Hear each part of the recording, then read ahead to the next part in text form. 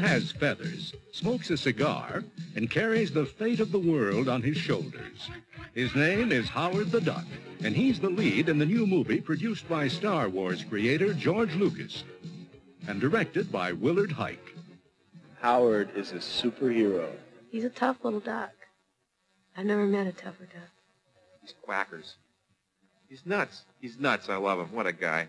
The real Howard was zapped from his home planet to Earth. He thought his incredible adventure would make an exciting film. He just wrote us a fan letter and asked that, that essentially we listen to his story because he thought it was pretty amazing. This is the first film that actually we have cast with a creature from another world.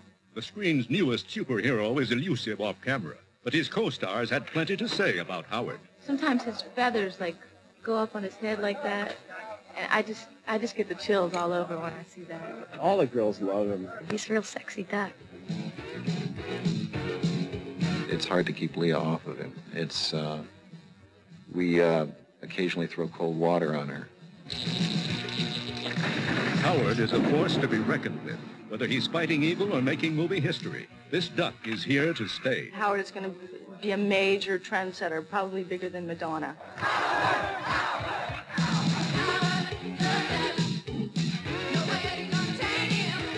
our leader.